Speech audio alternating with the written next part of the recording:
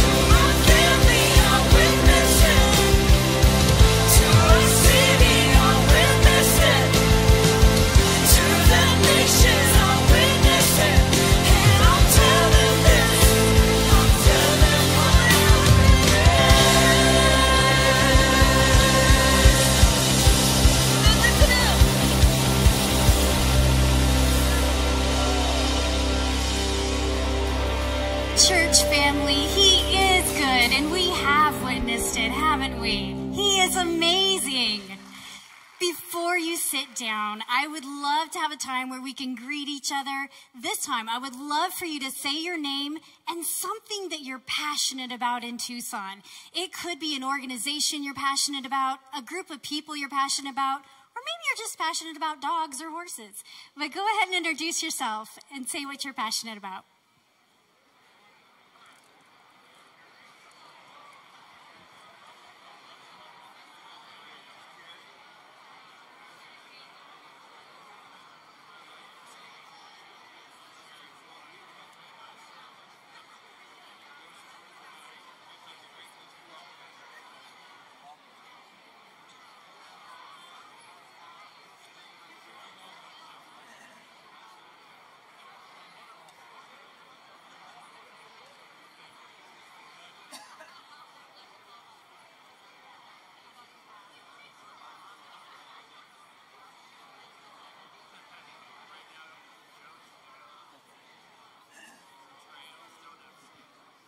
I love all the conversations, all the great things you're passionate about.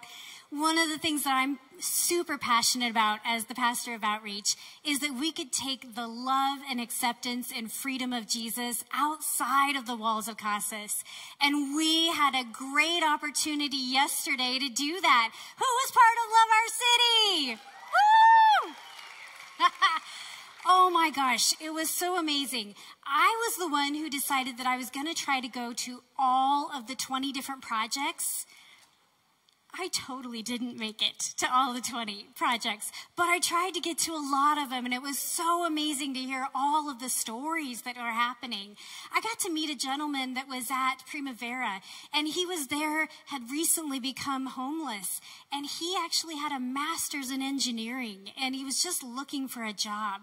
I got to go to Tucson Refugee Ministry, where our bike group here at Casas built so many bikes for refugees for sustainable transportation. Isn't that amazing? Woo! Yeah, so excited. I actually got to go with the Buffelgrass group, and so there's a thing called the Buffelgrass Slayers, which is kind of a cool name, but they go throughout Catalina State Park and they get rid of this invasive species, but we had an amazing team from Casas Church that came and helped with that. We also got to go to lots of places like Ronald McDonald House and love on families who have children that are sick. We got to go to Gap Ministries and help to just stock their shelves. We got to help with different things. But I wanted to not just pat our backs and say, hey, good job, Casas. Because we did this for one day, even though our hopes are that we'll do it every day, that we will get passionate about something that's happening out there, and that we will go out and just love on our city. But we have organizations that do this all the time. And I wish I could bring up every single leader of the organizations and help you to understand their passion and the why that they do what they do. But I have one organization leader that's coming up right now. We have Tom McKinney. He is from ICS, so um, Interfaith Community Services. And we just did a pasta drive not too long ago. And I know we didn't get to give you the numbers on the pasta drive, but I wanted Tom to be able to tell you. The pasta drive raised 4,000 pounds of pasta for people in need. and I think there's a group of high school and middle schoolers here that earned donuts because they did such a great job, so they need a shout out. Yeah. That's so awesome. You know, I was able to be a nonprofit leader for about four years. And for nonprofits, it's, um, you know, you're seeking to do really good things out in the community. You're seeking to be the hands and feet of Jesus out there. And you're doing it every single day. What is your passion behind what you do? What is your why? Yeah, the why is because we change people's lives every day. For however much time we're able to spend with them, and that you did yesterday, for the moments that you did, it will change somebody's life for the positive, for maybe a day, maybe a week, maybe a month, maybe forever. So it's that look forward for people to make sure that they're going to be better because of all of us. Yeah. And another question that I would have is what is a challenge that you have? Oh, just one? Yeah. Well, you know, I'm blessed to here today to speak on behalf of all the nonprofits that you served yesterday. And it was because I didn't have to do my hair this morning for the early service. But I think I speak for all nonprofits. It's about money, it's resources, it's volunteers, it's time that people can give to us. It's showing up uh, and helping us. And again, it doesn't have to be every day of the week, but it makes a difference. Last year, we thought we'd see maybe a less of a need of people in, in uh, people that need us, and that's not the case. Uh, there's more and more people coming to nonprofits every day asking for help. And unfortunately, we're put in a position of having to say no sometimes. So, again, if there's more money or more time, that is a super big help for all of us. Can you tell me a little bit about the people that you serve? Yeah, I mean, they are like you. Um, they, they're not much different. They've just, in some cases, had a back, bad stroke of luck. Um, we had a gentleman yesterday that volunteered for us that, that sought me out at the end of the event and came and found me from Casas and said, I just want to thank you um, for letting me give back because I needed your services some time ago and um, you were there for me. So I always think about this that we're all one step step away from something tragic or needing somebody's help.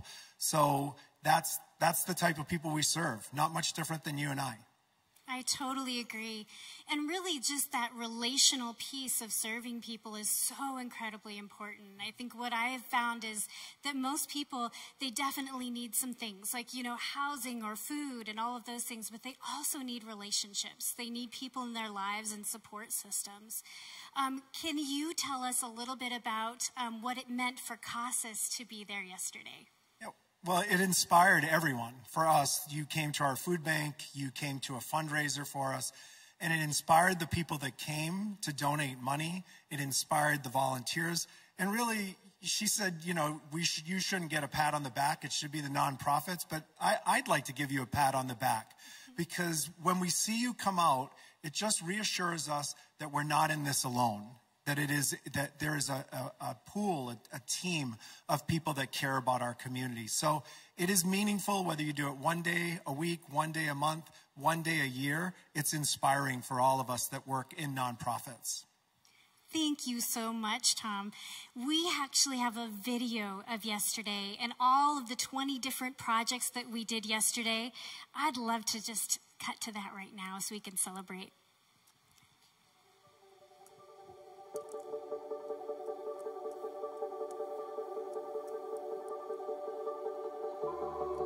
The beauty of this experience, I think for me, is knowing that I was able to help the community in a tangible way.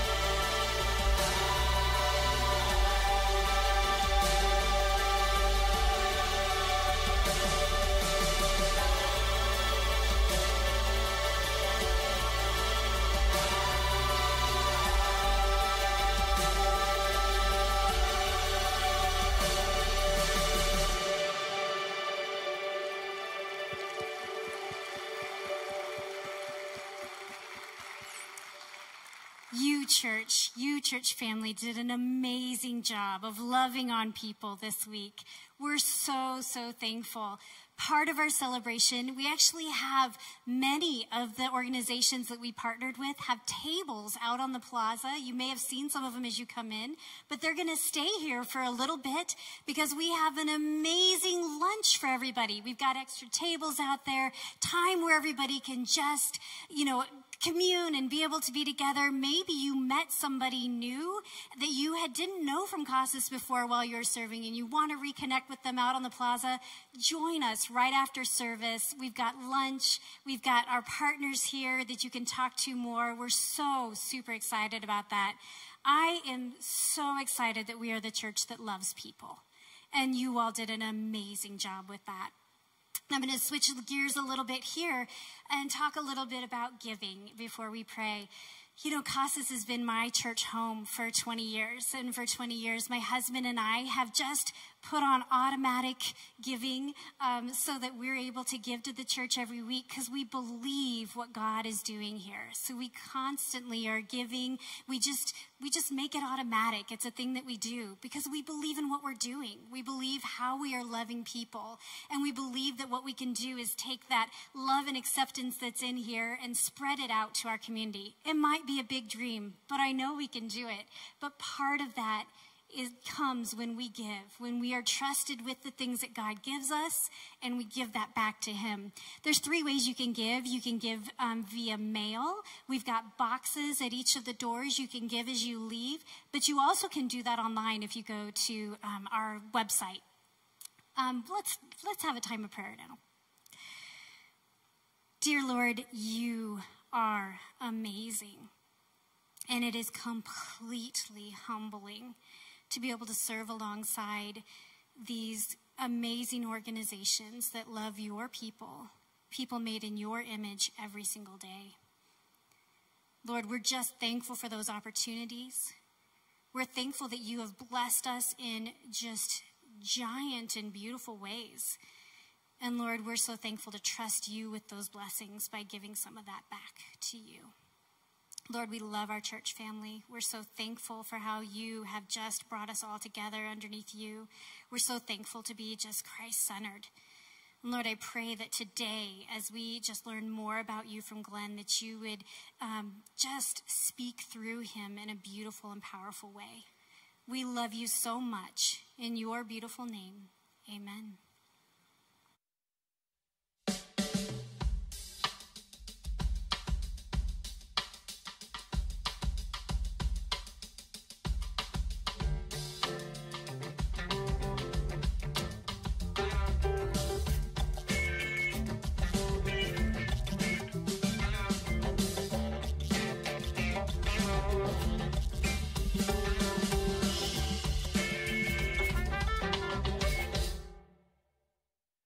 Good morning. Well, good morning. there you go. Yeah.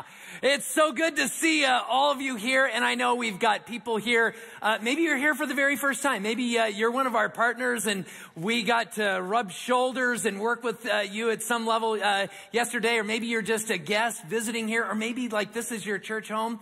Uh, either way, um, I'm just glad that you're all here. And I want to take some time and just kind of talk about uh, a little bit of this whole thing that we walked through uh, yesterday uh, in one way or another because there's just some things to reflect on and some things to celebrate. And, and, uh, and I want us to just ponder a part of this at, a little deeper uh, level, just from the standpoint that I think there was something that was reflected in what happened yesterday that wasn't just about yesterday it, it's about who you all are as a church. It is about what some of you as our partners that are doing so much in this city are doing at a deep level. And part of it, and, and here's where I want to come at this.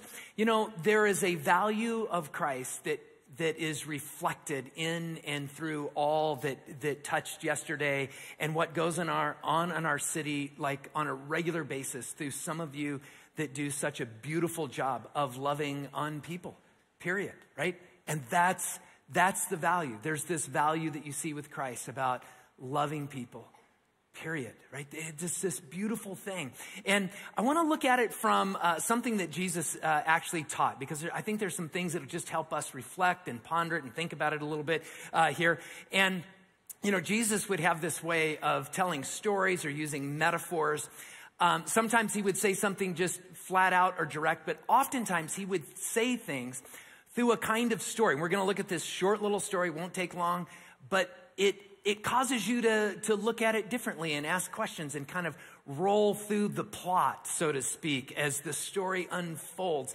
And this one that we're going to look at um, is about this king, this king uh, that just uh, wants to uh, uh, just lavish this kind of inheritance or these wonderful things on, on this group of people.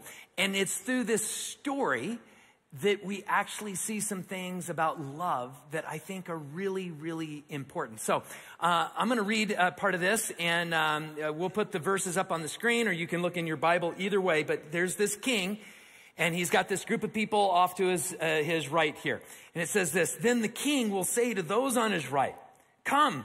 You are my, uh, you are blessed by my father. Take your inheritance, the kingdom prepared for you since the creation of the world, right? Wow. Like it's just, it's like, what, like, what did that group of people do? Like there, it's just like there's some, there's some value that he wants to point to in all of this. And so it goes on in verse, uh, uh, 35 and it says, um, for I was hungry and you gave me something to eat. Think about this group hearing this, right? So, wow, like he, like there's something that's really important to him. He notices.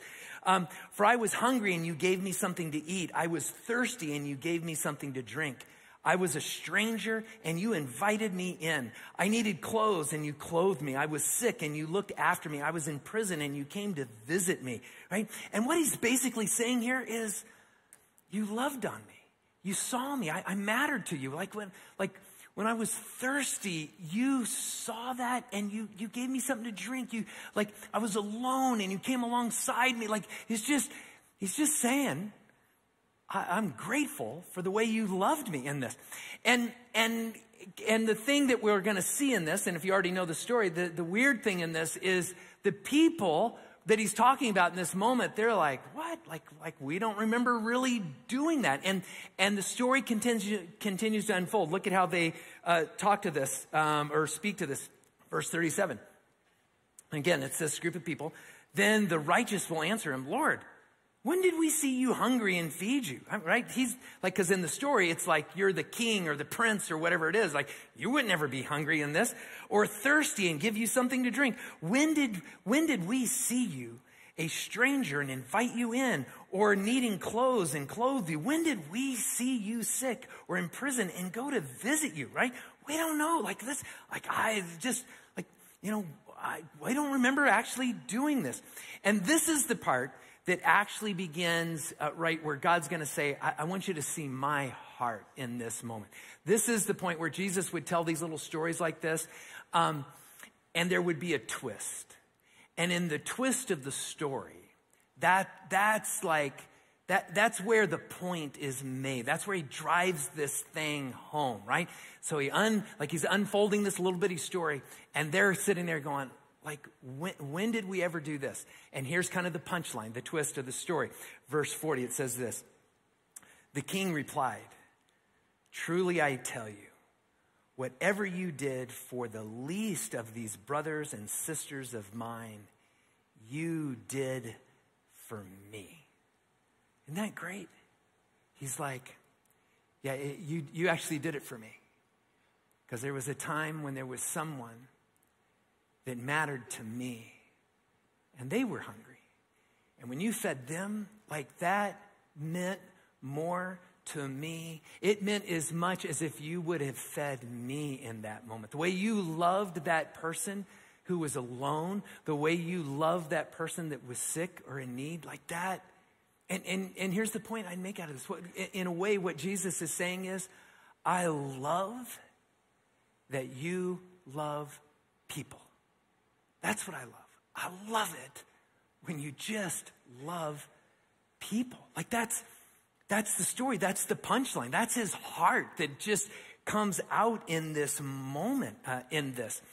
And so I think about I think about those of you who are here this morning that are our partners that, that, that we got to serve alongside of. And I think about what you do week in and week out. I think about all of you that showed up yesterday that are a part of Casas. I think about all of you uh, that maybe you weren't, uh, maybe you didn't have the opportunity to do something yesterday, but you've done things in the past, multiple things in the past. Like I just, I think about you as a church and, and that's the punchline. Love people period. Right? It's this beautiful thing. Now, um, for fear of just having a sermon go too short and having you all, you know, um, struggle with deep disappointment, let me make a few observations about this love. Right? Yeah, you, you weren't going to get off that easy, right? Um, uh, let me make a few observations that I actually think are worth pondering, are actually worth celebrating, looking at, and thinking about here. Um, and again, I, and I say this whether you're uh, whether you're one of our partners in the city, or whether this is your first time you're just visiting here, or whether this is your church uh, home. Um, l- let me give you three quick, fairly quick observations in this. One is love is practical, right? What Jesus points out in that story is it, love doesn't have to be this massive theoretical, um, like theological. It's like you're just loving on people that are that are hungry. You're just you're taking care of basic needs. You're just seeing people in some uh, unique way. It's it's just this simple, beautiful thing. And I want you to imagine this. I want you to imagine like what went on yesterday, or even in the weeks or months before. But I even think about uh, yesterday. Um, like I know some of you, like we're serving, like with Primavera. How, how, many of you, any, how many of you did anything with Primavera or anything like with, okay, like with food or like I know some of you are preparing meals and feeding. Okay, like, so I want you to think about this, right? In the most practical way, there's going to be, because some of you were preparing meals that were going to be given away later. And maybe, maybe one of those meals went to someone today. Maybe tomorrow morning there's going to be someone that was homeless or someone that is, right, their child is just getting out of the hospital and they've been through a whirlwind and now they're loading up their child they're out of the hospital and they're on their way home. And someone is going to hand them a meal and say we see you. And we know you've got really important things with your family you're trying to take care of and we just want to love on you a little bit even if it's just provide you don't have to worry about the next meal you're going to eat. Here you go. It, it's that simple. It's just it's like loving people in this beautiful way. I think about this. Think about someone who was uh, in another country, uh, maybe, I don't know, a month ago, six months ago, two, three years ago. And, uh, and maybe even it was someone that was uh, serving alongside other Americans or an American agency or a government in some way. And things shifted in that country, and suddenly their life is in danger. And they've got to flee. And they end up right here in Tucson, Arizona and they got uprooted and planted in another country and another culture. They don't speak the language, they don't understand all the things. And it doesn't matter what their education was back there, it doesn't matter if they were a doctor, if they were a business person. Like they're starting over from scratch when they get here. And what if, and this is true for many of them, right? They, uh, they're walking sometimes for hours every single day because that's the only way they have to get to a job and it's whatever job they can work. And maybe tomorrow or next week, one of those refugees is going to have someone from, uh, from Tucson that's a part of the refugee ministry here in Tucson that we partnered with, and they're going to say, Would a bike make a difference? And they're going to hand them a bike.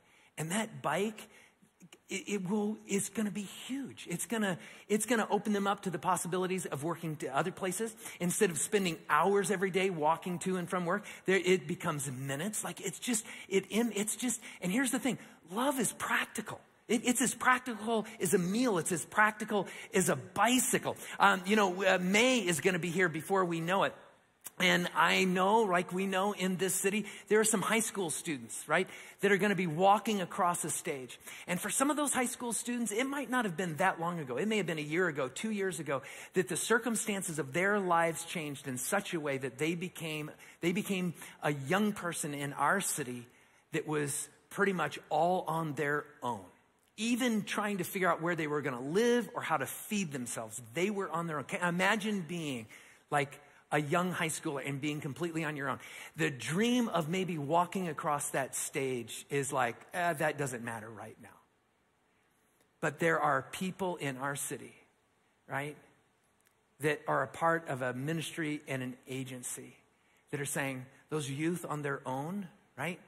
We're going to help them out. We're going to encourage them. We're going to help them make sure that they've got a place to stay. We're going to help them make sure, even if it's basic toiletries or making sure they've got clothes or can get school books or whatever.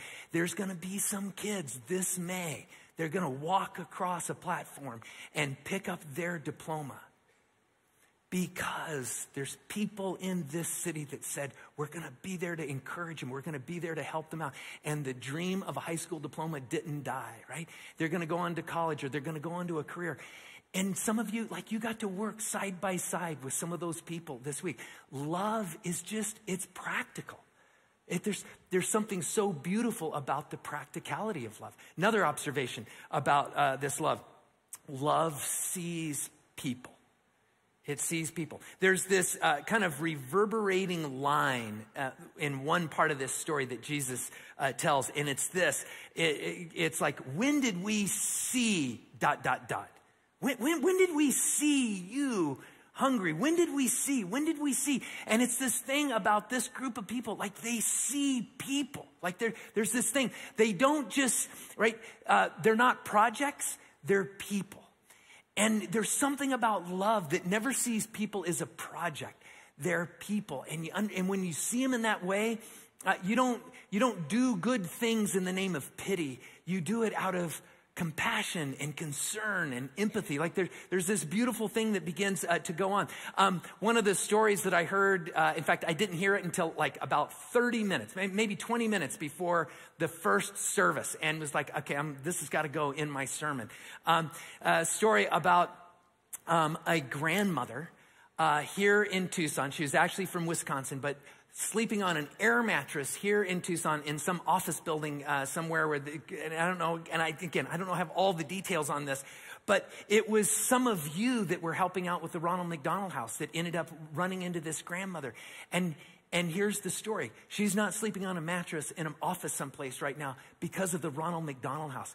And she flew down here because her daughter-in-law uh, started to go, had some serious medical issues, went into premature labor um, like a month or two uh, too soon, and has been in the hospital for more than a month now. But here's the thing her daughter in law and her son own a farm down in Bisbee and, and are trying to run a farm. And so the mom has to be in the hospital up here. Her husband and this grandmother's son it has to stay in Bisbee and uh, working, and they have a toddler. So the grandmother, right, came down here to watch the toddler because her son's got to keep working the farm and her daughter-in-law's in the hospital. And the Ronald McDonald House is like, okay, I see you. I see, I see you trying. I see, guys, man, this is beautiful what you're trying to do for your family. Can we just help you out and give you a better place to stay to take care of your grandchild while you're trying to love on your own daughter or your own daughter-in-law and your son? See, and some of you went down there and partnered with the Ronald McDonald House and you made like you you changed like her life in some way because you see a person, not a project right? And there's this beautiful thing uh, that unfolds in this story about it's just, and when you look at the life of Jesus, he saw people. He saw them as human beings with a sense of dignity, right? Um, I got to experience this. I was on the Habitat for Humanity uh, site. How many of you were at, at Habitat? Bunch of you, are you sore this morning from swinging a hammer? Yeah. Um, you know, uh, down at the Habitat site, I ended up getting to run into some other workers that actually have habitat homes, that, that they bought a home that was a habitat home. Um, I got to talk to some folks uh, that uh, are are hoping to get into one, like they're starting to do all the work and they're saving money and they're going through all these classes and everything, and just how excited they were. And one of the things I was struck by is I talked with each and every one of those that I was able to. Um, one of the things I was struck by is that they would say this over and over again is this idea of th- there's this value with habitat Um, we don't give houses away. They, they, you will never hear them say, we give houses away, right? And maybe before this, I would have said, oh man, this is a wonderful ministry. They give houses away. And they, and if I would have done that, I know they would have corrected me and said, no, no, no, we don't give houses away, right? Because, and this was kind of the saying that I heard over and over again, we don't give people a handout, we give them what? A hand up. And here's why, and this is what I love about it, It's really unique. They are helping them uh, to understand the finances of how to what it means to own a home they are teaching them how to maintain this home they're putting in hundreds and hundreds of hours to help build their own home along with uh, people that work full-time for habitat and, and work alongside people like uh, us who would volunteer for a while in this thing. And they like and when you hear them talking about how habitat is giving them an opportunity to own their own lives in this way what you see what i saw in the eyes of all of them was this sense of dignity. Like they they weren't giving something that pitied them in a way that held them down. They were like they were really given a hand up. And I want to say this to any of our partners uh, here that are a part of Habitat for Humanity. There is something that you give away. There is something that you do give away. And I saw it yesterday. And it's dignity. You're giving away dignity. And man, that is a beautiful thing. And, and I don't want you to miss this point. I don't want you to miss this point. Um, when, when, there, when you see that kind of love, I want you to think of this. There are few things in this world that are more Christ like than a love that gives dignity to another human being. Let me say that again. There are few things in this world that are more Christ like than a love that gives another human being dignity. Right? When you look at the story of Jesus, he just lifted the dignity of people again and again and again. And I'm so glad that in this city, we have these partners like Habitat and ICS and Primavera and Gap and it just and the food banks on and on and that they see people. And because they see people, they, they they give dignity away. It is this beautiful thing. Okay, third observation. Third observation, and it's this uh, love has a cascading effect, right? And there's this kind of this interesting thing that, that Jesus is telling this story, and he says, Yeah, it's kind of like this king or this prince. And when one of you loved someone over there, that the way you loved them, it's like it cascaded. It was like you were loving me. There's this thing about this kind of love that Jesus talks about that it just spreads. It inspires others to love other people in different ways. And it just becomes this beautiful thing. And you know, like that's part of what Jesus hoped for when he talked about love. And you see this. I, I saw this yesterday again because um, I spent time at the Habitat uh, place. I, I, saw this. I saw that there was uh, one of the full time workers there at Habitat uh, was just spending some time with some of the ladies uh, on our team, and, and, and I don't know what their exact job was because I kind of heard about this story after the, the fact.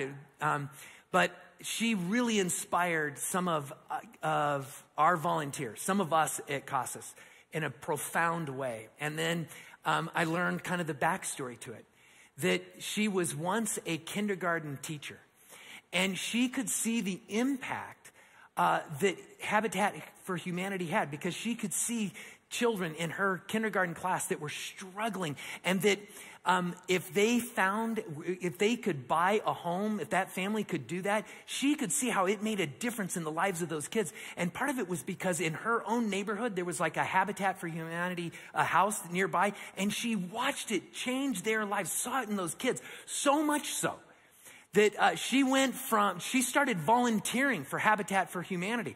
And as she started volunteering for Habitat for Humanity, she ended up going um, full time with Habitat for Humanity. And so then we go out there to volunteer for a day, and she's there, and it's kind of like she's loving on us because we've showed up uh, to help with this thing. And she's so inspired some of our ladies in this that they started thinking more and more about the family that would be in the house that they were working on. And remember, these families, they come in and they help work on the homes. And, you know, and you're in the middle of construction. And so if you were to write something on the wall, right? Um, uh, other people are going to see it till that house is all finished out. And so these ladies from Casas wrote a note um, to this family that was going to be uh, someday uh, getting uh, this house. But next time they come to work on the house, they're going to get to see this note that the ladies wrote. And uh, Stacy took a picture of it for me. But I want to I want to read to you uh, what they here, here's what they wrote on the note on the side of the wall in the house. May this home be blessed with joy, filled with love, and sheltered by peace. Here's to new beginnings and endless possibilities. Love Casas Church. I can't wait for that family. Yeah, I can't wait for that family to walk in there and read that note. And you have to understand, it started because there was a kindergarten teacher that saw how some people that long ago, I don't know, it could have been years or a decade ago, were helping with Habitat Home. And the way they loved somebody, they loved a family, it touched a kindergarten teacher who turned around and that kindergarten teacher, right, her love cascaded uh, into volunteering for Habitat for Humanity, that then cascaded into working with them full time, that then cascaded into some ladies that were a part of CASAS, who then wrote a note that's just like, just a practical one moment of love that's going to cascade into that family. Do you see how this works? Like there's just a beauty in it. And the fact that we get to work with other people in our city, that we get to work with one another in this, this is a part of the beautiful thing. And so here's, I want to do this. I want to, I want to just mention our different partners here. So, um, I want to just take a moment because if you're one of our partners here, we want to just uh, thank you for what you're doing in this city. So let me let me just mention uh, these. Um, we worked with the Ronald McDonald House, which of course is uh, helping uh, families with uh, medical emergencies and needs. The Primavera uh, Foundation, which helps with uh, homeless men and helps with homelessness in general. Uh, the Gap ministry that has this amazing holistic approach to foster care and all that they do to take care of entire families. Um, the Tucson Refugee Ministry and what they do, uh, not just for refugees, but helping to build community and connection uh, in our city. They're the ones that did the whole thing uh, with the bicycles. Um, ICS, or Inter- Interfaith Community Services, and uh, how they work on the short term needs of people, but at the same time, they're always working on the long term needs for people, like lifting them up and moving uh, them forward. Um, of course, Habitat for Humanity. Um, the Catalina State uh, Park, the, the group there that works on the, uh, the buffelgrass, there, it's interesting. Uh, we had someone on our site, and I know this happened more than once, that when they found out that we as a church were also coming alongside uh, this, this thing of, of pulling out the, the, the buffelgrass, that they were like, oh my gosh, thank you so much because uh, they lived in an area and they were like, I'm always worried about wildfires where I live. And it's like, your church would actually go out and care about that. And it's just, and you could just tell in a practical way, it's just, it was blessing them uh, in some way.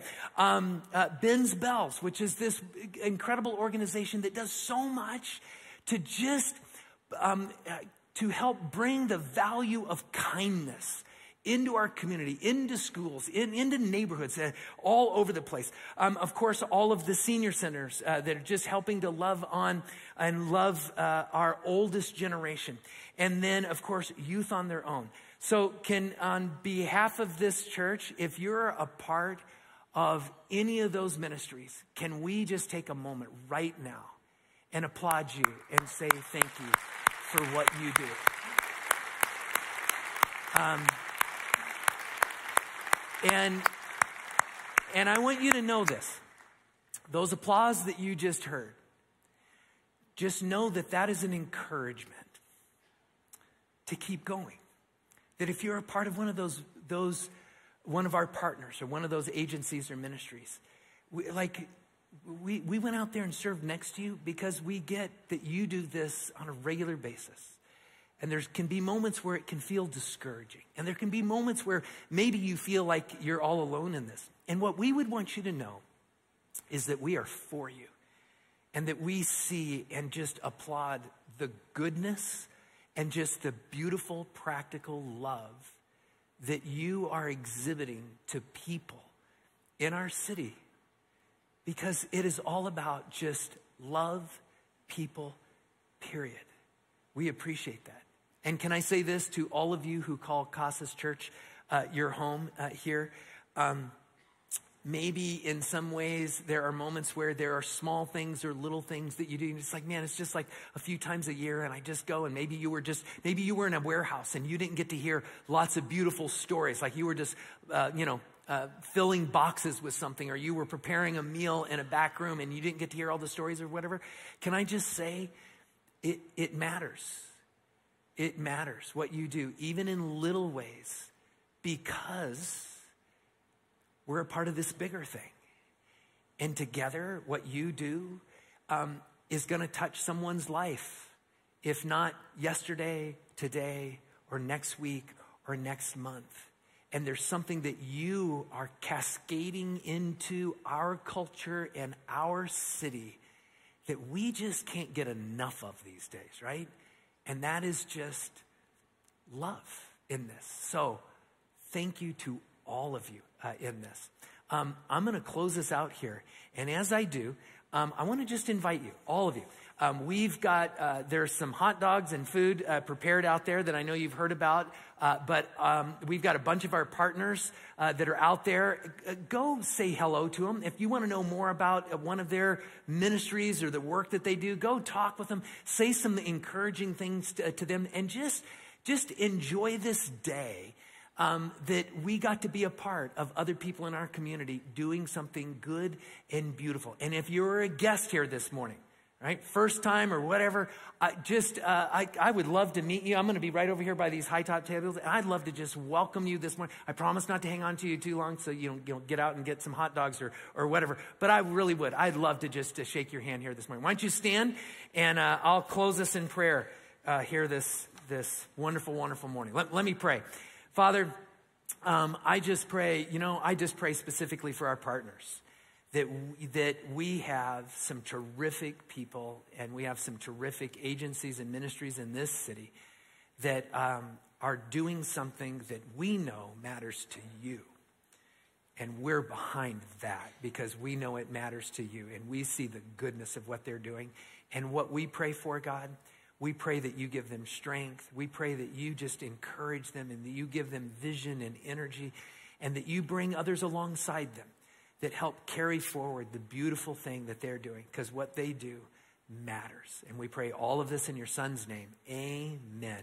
Have a great morning. See you next Sunday.